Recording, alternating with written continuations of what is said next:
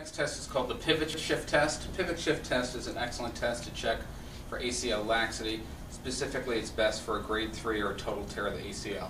With a grade 1 or grade 2 tear, it's a little tougher to test, but with a grade 3 tear, it should be noted.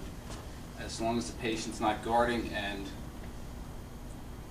the knee's not swollen, it's a very effective and sensitive test. Start with the patient's hip flexed to approximately 20 to 30 degrees, the knees fully extended. With this test, you'll have internal rotation of the tibia. In some cases, people apply a valgus force, and in some cases, push an anterior force on the lateral posterior aspect of the fibula and the tibia. With the test, maintaining internal rotation will flex the knee, and with a positive test, the tibia will sublux posterior. Instead of a smooth transition, approximately 10 to 20 degrees, you'll see a posterior subluxation of the tibia, a step off or jump off, and it'll clunk. Patient will notice it.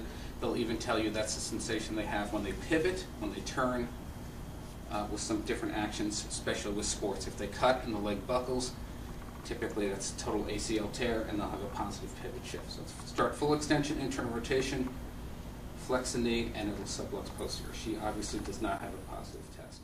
Another